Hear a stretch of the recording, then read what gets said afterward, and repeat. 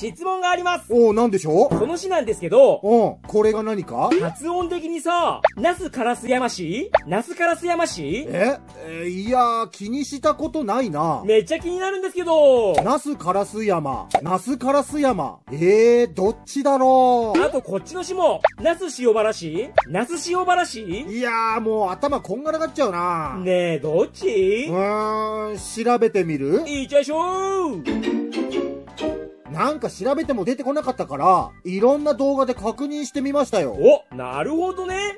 で、カラス山の方はこんな結果になりました。お、これはもしかして？そう、市長も土地テレのアナウンサーさんも公式 PR 動画も全部、那須烏山市。ってことは、正解はナスカラス山市ってこと？まあ、そういうことになるのかな確証はないか。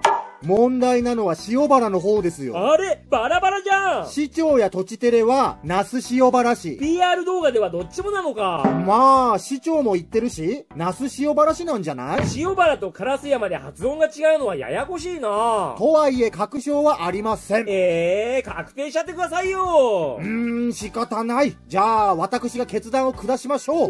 お、お願いします答え、どっちでもいい。ま、まあ、そうだね。